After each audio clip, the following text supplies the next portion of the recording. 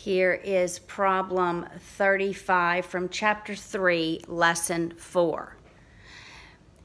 If you read just above the problem, it says, use the additional fact that AC is greater than 2AB.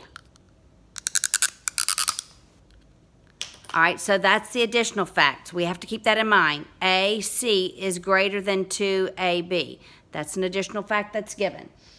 Supply the missing statements and reasons in this indirect proof. So it's an indirect proof. So by definition, our first statement will be suppose not whatever we're trying to prove. And we're trying to prove that B is not the midpoint of AC. So our first assumption will be suppose the opposite of that. Suppose that B is the midpoint of AC. Again, we're back to this line. All right? So if B is the midpoint, then of AC, then AB equals BC. So what it's saying is if this is actually the midpoint, then this length has to equal that length. And that is the definition of midpoint, right?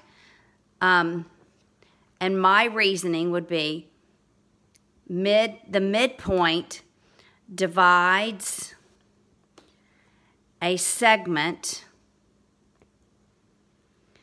into two equal parts.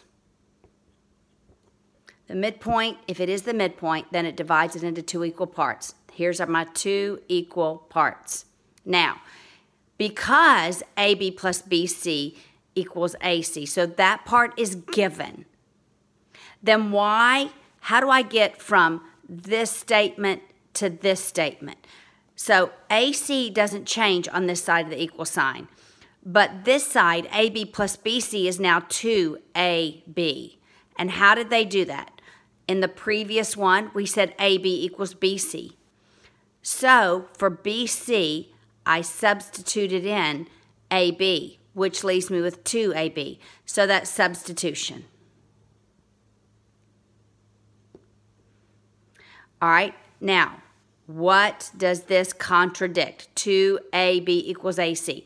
It contradicts what was originally given. AC is greater than 2AB. So the contradiction is 2AB cannot equal AC because AC is greater than 2AB.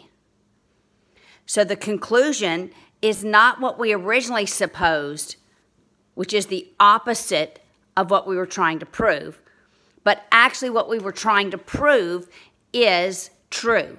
So the conclusion was, is B is not, it is not the midpoint of segment AC.